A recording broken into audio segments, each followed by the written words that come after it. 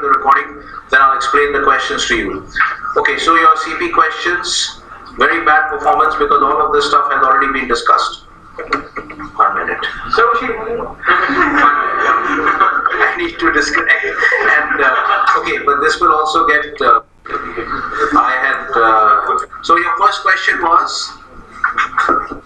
Okay, so your first question was uh, distinction between active and passive asset management. All of you have, most of you have got confused. I think pretty much everyone had got confused between traditional versus alternative asset management. Okay, most of you thought this was supposed to be the difference between traditional and alternative asset management, but the question is actually asking about active versus passive asset management. Okay, so when we discuss this topic, uh, when we discuss this topic, let's look at this. The point, the last point the last point in the distinction between TAM and AM, the last point actually says that the distinction between active and passive is a relevant distinction within TAM, but is not relevant within AM. Because all AM managers are active managers. So there's no point in having a distinction between active and passive. It doesn't make any sense. Everybody in AM is an active manager. So the mistake most of everyone made was that you confused the distinction between active and passive management, which is a distinction which is relevant in the TAM universe. Uh, you confused it with the distinction between TAM and AM. Okay, again, that's why I keep saying new concepts that you're encountering, you have to revise these concepts, be attentive in the class, and revise the basic concepts in finance you guys are not clear about. Okay, so this is the first mistake that you made. Okay, don't confuse this distinction with. video being- is the Yes. Audio being recorded? Yeah, yeah, yeah. The audio, the recording is running. Okay, so make sure that this, this, this, you understood what mistake you made, right? So uh, you are now confusing this this distinction with this distinction. Okay, so what is the distinction in active and passive management? Essentially, some of you got this right. The distinction is first of all, you should say that it is only relevant within the TAM universe. Okay, you can add value to your answer by saying, first of all, clarifying that this distinction is only relevant within the TAM universe.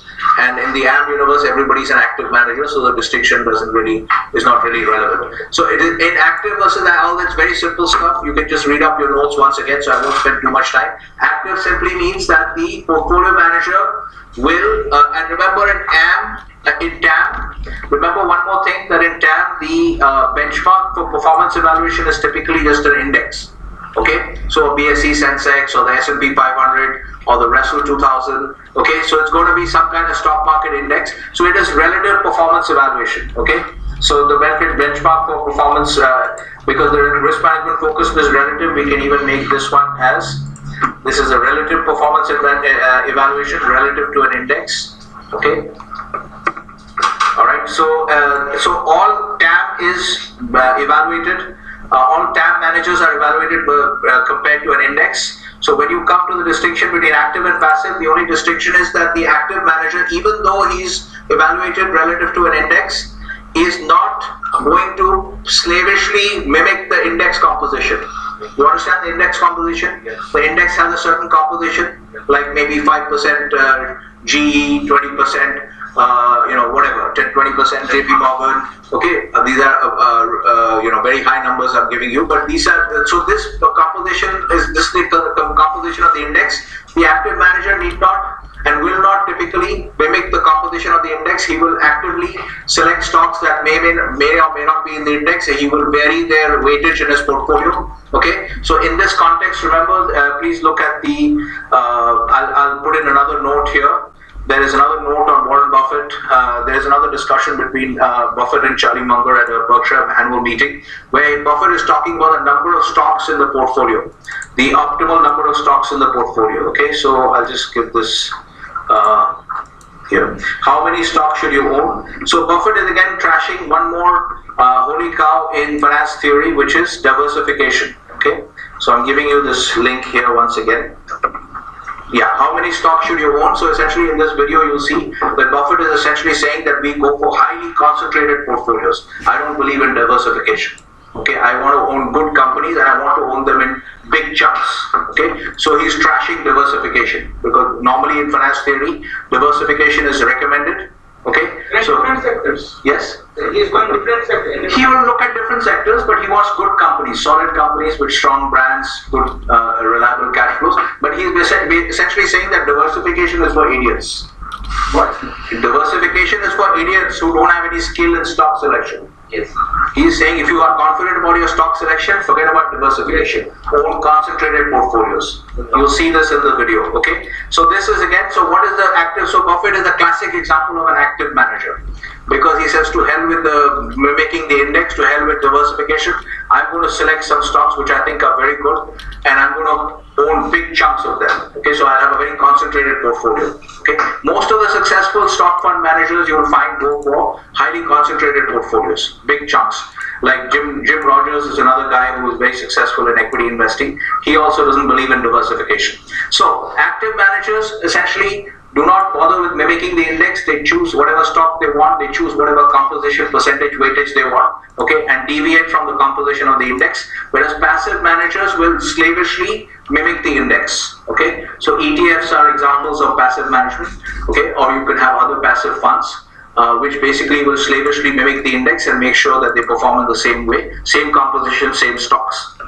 Okay, so that's the first mistake you made, active versus passive managers active versus passive asset management. Okay, second is asset management. What is tracking error? Some of you got the concept right, but the terminology that you used is in a, in a, inappropriate. Most of you, even though those who got it right, said kept on talking about stock versus some price of something very very uh, unclear language. The tracking error is the extent to which the so first of all, then you should once again, for the sake of context, one sec. One minute, yeah. So, first of all, once again, for the sake of context, for your own clarity and for answering the question properly, you should clarify that tracking error once again is something that is largely relevant only in the TAM universe. Okay, because it's going to be relative to an index. Okay, so TAM is it's only relevant in the TAM, TAM universe, the tracking error, and then it is only relevant in active management. Okay, in passive management, it is understood you will not have any tracking error because you're going to mimic the index. If you have passive, if you have a passive fund and you have tra tracking error, means you're really an idiot. I mean, you can't even follow instructions and you know uh, look at the composition and track that composition. So tracking error is largely a concept that appears within TAM and also within TAM within the subset of active asset management. Is everyone clear? Yes. Please make sure your concepts are clear. Concept uh, conceptual clarity is very poor even though these concepts have all been discussed uh, in the class. Okay, so it is relevant only within active management, and so tracking error is the extent to which an actively managed portfolio, okay, is underperforming relative to the index.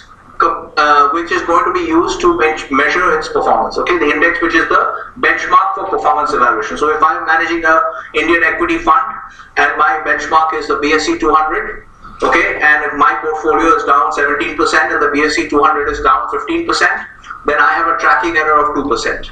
Okay, so you can clarify if you want. Sometimes people say even even if your uh, if the index is down say 15% and your fund is down 13%, some people say I have a tracking error of positive 2%, but I don't think this is a good use of the term. So we should only use tracking error to refer to negative returns, that is underperformance or, or not and not uh, overperformance. But some people you should be aware would also use it on the other side symmetrically. Okay, so clear now what is tracking error? Yeah. Only within TAM, within that, only within the active asset management universe, and the extent to which actively managed portfolio is underperforming the index against which its performance will be benchmarked. Is this clear? Yes. Okay, so no Notice the key ingredients of the answer. Okay, third question, what is a high water mark in asset management? And what is the connection to uh, compensation? Some of you got this right, but once again, language used is very poor. Many of you, nobody, I think except for GABA, nobody used the word NAV. Okay, everybody said is stock price, stock price, the highest point of the stock price. It's not the highest point of the stock price. It's the highest point of the return when you're plotting the return of the fund. So essentially it is the highest point of the NAV series. Okay. So essentially if you look at this, anything, any, any series like this and this particular series, this was the highest point at one, when you just started, let's say this became the high water mark. If this actually, instead of being a dollar Swiss chart, instead of this being a dollar Swiss chart, Okay, at least it's being recorded. So you should have told me this way. What happened? For hiding the questions. The other questions which I had intended for today, I was hiding them. Okay, so the recording is going on, so you'll see it in the video. But uh, yeah, so I, I, I thought I was I was projecting. So anyway, um, okay, can you see this now? Yes. So instead of this being a dollar Swiss chart, okay, which it is a spot market dollar Swiss chart, uh, let's imagine that this is the performance of GABA's fund. Okay, this chart is plotting the NAV of a fund managed by GABA. Okay, so this again, once again, high water mark is something you should clarify is only relevant in the context of which kind of asset manager, TAM or AM? AM. Okay, so high water mark is only relevant in the context of AM. Okay, so when you can see here, when you look at benchmarks for performance evaluation, and the risk management is on, uh, and the compensation is as a percentage of asset managed plus the incentive fee. So because in TAM there is no incentive fee, so the con- the concept of the so when you hear when you're discussing a concept, you should also place it in the context. Okay, it is relevant in the context only of AM. Okay, because it relates to the calculation of the incentive fee. Okay, and there is no incentive fee in TAM. Okay, so here and then so how is the high water mark related to the incentive fee? Now let's imagine that this is the NAV. Now you remember what NAV is? Is unrealized profit included in NAV? Unrealized profit or dividend against it. Yes. Yes. Yes. No, no, no, no, no, no, no. Okay. Is unrealized profit included in NAV or not?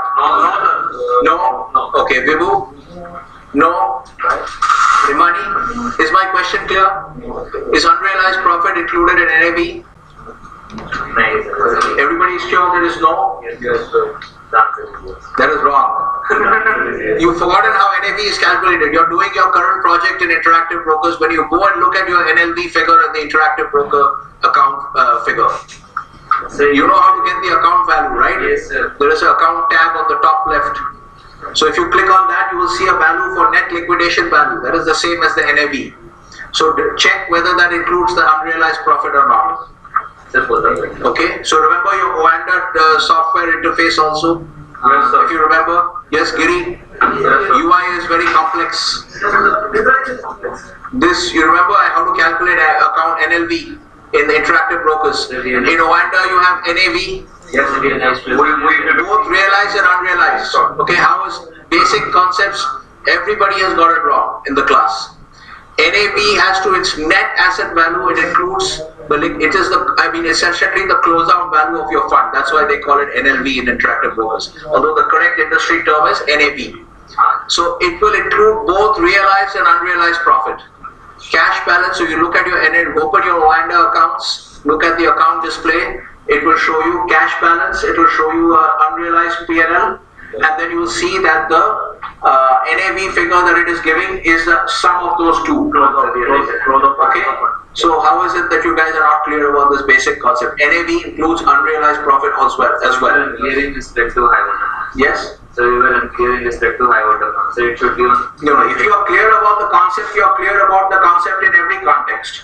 Sir, but in high water mark there should not be unrealized profit. Should be. Why not? If the high water mark is a point on the NAV curve, okay, this is the dollar Swiss chart. If it if the high water mark is a particular type of point on the NAV chart, on a time series plot of the NAV uh, of the NAV of a fund, then why should it's NAV? NAV has the same meaning in every context. All the components. So I don't know why you're getting this confusion. Are you are you So the clear now? get to budget incentive fee on the unrealized profit. No, no, no, no. It's not about the unrealized profit. First, be clear about this. If we are using an expression NAV, Yeah. okay, once we have defined NAV as including both unrealized and realized profit. One minute. Be quiet. One minute. Let me answer the first part of the question. Let's be clear about the stepwise law. If we have defined NAV as including NAV is the sum of realized PNL and unrealized PNL. Is everyone clear about this? Should be clear about this by now. Okay, NAV is always the term, it's a standard term in asset management. So You should be clear, NAV is always the sum of uh, uh, unrealized and realized profits. Okay, so it is essentially the idea is what will you get if you liquidate the fund right now? Okay, so at market prices, at current market prices. What happened here? So it is reloaded. Short term is. Okay, I should, I do need a chart. Uh, Okay, fine, it's come back. So strictly speaking, it should be uh, the uh, original starting balance plus adjusted by realized All right. plus So, unrealized. uh, let's be clear. So once we've defined NAV as including both the realized and the unrealized P&L, then whenever we are using the word NAV in any other context, it will have the same meaning. This is clear? Okay? Unless there are certain cases where we have clarified that in finance, because finance is not like physics, sometimes contextual uh, usage uh, will will have a different meaning in a different. I mean, diff- uh, the use will have a different meaning in a different context. Okay? Why are we not getting this? Maybe there's a problem with the net. Um, let's just get any chart. There's a, maybe there's a problem with the net.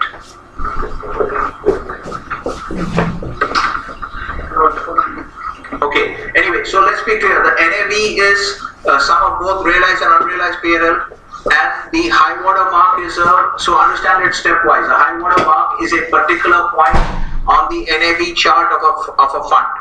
Okay, on the time series data plotting the NAV of a fund. This Is clear? Okay, it's a particular point. Now, what particular type of point? For that, I need to show you some chart. Okay, let's hope this loads.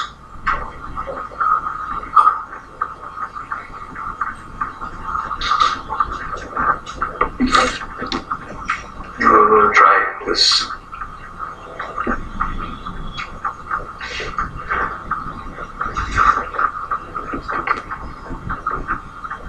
Okay, so let's just work, work with what we have. Okay, so let's say this is the NAV plot of uh, plot of the NAV of GABA's fund. He starts out, he makes up this much money, and then it starts to drop. Okay, so the idea behind the high water mark is it's the highest is the Yeah. is the highest equity value. NAV is also referred to the uh, as equity curve. Okay, so the highest equity, the previous highest value for the NAV curve. Okay, and the connection between this uh, between the uh, on the NAV chart and the connection between this and the compensation system is that when GABA has made this much profit, uh, the NAV has climbed to this level, and then the price starts to drop, the fund value starts to drop because he's making losses. Okay, we'll stick with the same. So let's take this as the NAV earlier. Okay, and it starts to drop. Okay, when it's making losses, when he starts making losses, the The fund NAV. starts to drop, and it drops here, and then it starts to make a meaningful climb again. But the point is that the importance of the NAV is that this is the previous equity high. Okay, so when he has recovered from this point, 9922 to say even this point 10043 he won't get any any credit any incentive fee for the climb from here to here he won't get any incentive fee because he needs to clear the previous high water mark. He wants to basically has to make a new high water mark. Okay only then will he get the compensation. Okay for the incremental high in the high water mark incre- incremental increase in the high water mark. Is this clear? So this is the idea. So you should revise it. Okay maybe i shouldn't even have spent so much time covering this because you are already aware of these uh, uh, you are this is already there in your notes but anyway so let's quickly cover your uh, uh, the, make sure we have a coverage of the co- concepts where Giri is saying there's a problem that he's facing what is the problem Giri now let me just go through the decision problems in option trading okay your problem is related to decision problems UI is complex. We can't do anything about that. The UI we already showed you. One minute. Let's be clear. Let's. I don't know why this is taking so long to load. The net is slow, so let me try my own net.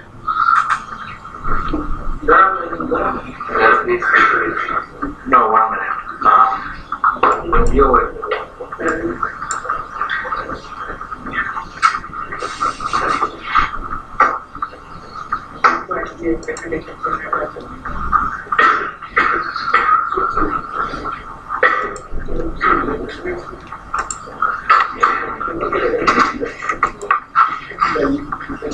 Okay, so decision problems and option trading will come to the decision problem. Let's just look at this.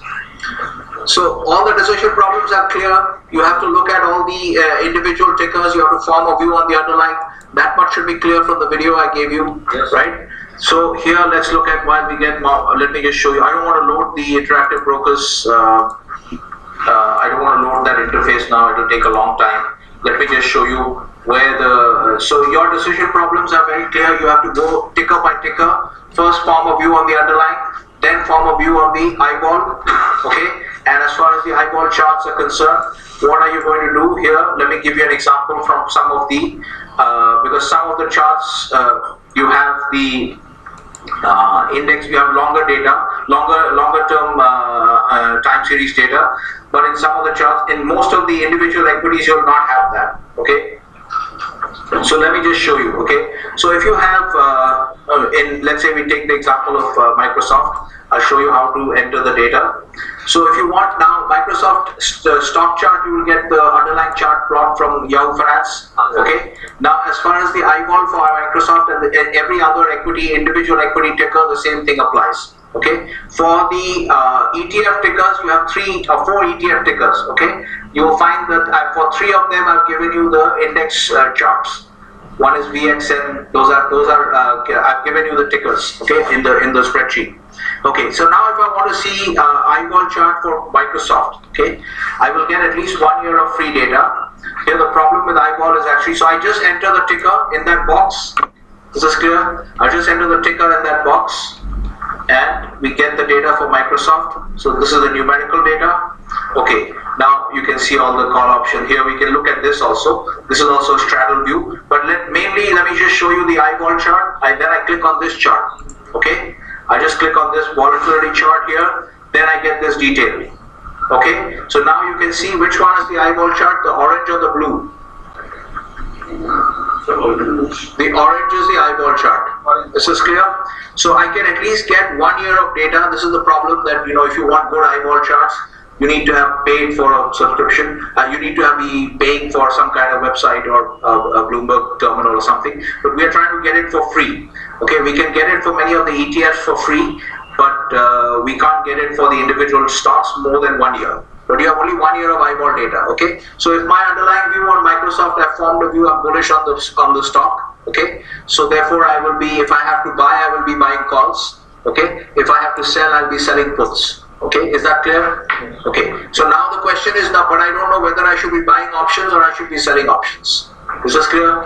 Okay, how do I form that? How do I take that decision? I look at the eyeballs. Okay, if I view on the eyeball chart as bearish, then I will be selling a uh, seller of options. And if my view on the eyeball chart is bullish, then I'll be a buyer of options. Okay, so that will help me to solve my problem uh, by locating myself in that. Uh, if you remember that you have this uh, calc sheet where you have uh, the matrix, the decision matrix. Okay. Okay, so I look at this eyeball chart, this orange eyeball chart, and I can take a on what, what I want to be. Let's say if I'm a mean reversion type of player, typically at this point I will be bullish because it seems to have reached the low, low end of the range. Okay, but what you can also do is remember the VXN, the Caret VXN ticker. Okay, this is Microsoft options. So if you go to Microsoft is the tech stock. Okay, so if you go to Caret VXN, VXN is actually the uh, uh, Nasdaq 100 index. It's the uh, why is it not showing up a yeah. So this is actually the eyeballs uh, this is the eyeball chart for nasdaq 100 okay? So you can look at the eyeball trend so you'll get longer term data. The only advantage of vxn is okay this actually corresponds to your qqq uh, which is tracking the nasdaq 100 index. So for qqq you can use this. The advantage of this kind of chart is you can get a lot more data than just for one year okay? You can get a lot of data. You can look at even max and see how the so you can look at how tech balls have behaved. Uh, eyeball for tech stocks has behaved for over the longer term. But this is not exactly for microsoft and then you can look at this and you can look at uh, where were we in the eyeball chart? Here. So you can look at the microsoft eyeball one year data in the context of some longer data for the for VXN. okay? Are you following what i'm doing here? Okay i'm just trying to get some longer term data but VXN is the eyeball index for options on QQQ. And QQQ tracks the NASDAQ 100 index, which is an index of tech stocks. Okay, are you following what I'm doing? Yes, yes. I just want, actually it's not clear. You're clear, not clear. Because Microsoft is a tech stock and I want some longer term perspective on eyeball trends. Okay, that's all the only reason. Otherwise, if you're happy with one year data, I am not generally happy with only one year data, but you form a view on the eyeball, then you can decide whether you want to buy or sell. Here, if I'm bullish because I'm a mean reversion guy, okay, so then I decide to buy, and my view on the underlying is bullish, so therefore I'll be a buyer of calls. This is clear? This is your matrix. Class is over when the bell rings. I have an alarm. Okay, so you locate yourself here. Now, what is the problem? Next two problems is which which strike to buy, which strike to buy. You have Microsoft options. Okay, which strike to buy is one decision problem. Here, I told you that you mouse over here. Listen, uh, here, Giri, your UI complexity problem. Your UI in the option trader What is your? the option trader user interface. In option trader, you have this channel kind of view. You can set it up. Calls on one side, puts on one side. Just wait for two minutes. Just wait for two minutes. Okay. One minute. Just wait for two minutes. You can set it up here. Okay. You will set it up here. Now, is this clear now, Giri? Are you following? You mouse over. You will see bid and offer prices on each side. You mouse over the bids and offers. You will see some percentage values being highlighted. Can you see that? Yes, yes. those percentage values are the eyeballs. And what is the significance of eyeballs? The eyeball is the index of the option price. So when you want to decide which option is cheap and which option is uh, expensive, you don't decide that by looking at the uh, option premium. Okay, you don't decide that by looking at the option premium. You decide by you decide that by looking at the eyeballs. So the options which have lower eyeballs are cheaper. Those which have higher eyeballs are more expensive. So when you're a buyer, obviously you'll try to buy cheaper options. When you're a seller, you'll be trying to sell more expensive options. But this has to be balanced with your view on the underlying because the strike price is related to the view on the underlying. Okay. If you want to use some of the more complex strategies which you see in the CME booklet that I gave you, okay, you can use think of that. But this is one easy way to solve the strike price decision problem. Okay, which one to choose? Choose the ones if you're buying choose cheaper options that means lower eyeball. Second is the decision that about the tenor which expiry date to buy. So many expiry dates which one to buy? If you are buying options try to buy longer dated options. If you are selling options try to sell shorter dated options. Less than 15 days okay 10 days type 10 days one week. This is clear? Yes, sir. All your decision problems are solved? Yes, sir. Okay, don't do early exercise. There's another decision problem whether to exercise early or not. Because remember, these are all American style options. Okay, as a general rule, we'll talk about this later, but general rule, no need to uh, do early exercise. If you don't have the view anymore, just sell the option back in the market. This is clear? Yes. If you're long the call, just sell the call. Don't do early exercise. Okay, solves your all your problems. Giri, are you happier now? Go back and watch the videos once again. Watch this TWS option trader video that I gave you. Look for this is a YouTube video on TWS option trader. Look for other views, uh, instructional videos from interactive brokers. Go to the website, look at the instructional videos. Okay? Alright, okay, you can go now. So the point to understand about uh, software Three is minutes extra. TWS uh, trading software is going to be complex. You got to deal with it. That is one of the skills you need to develop as a finance student. So what Giri is saying, UI is too complex, too bad. Deal with it.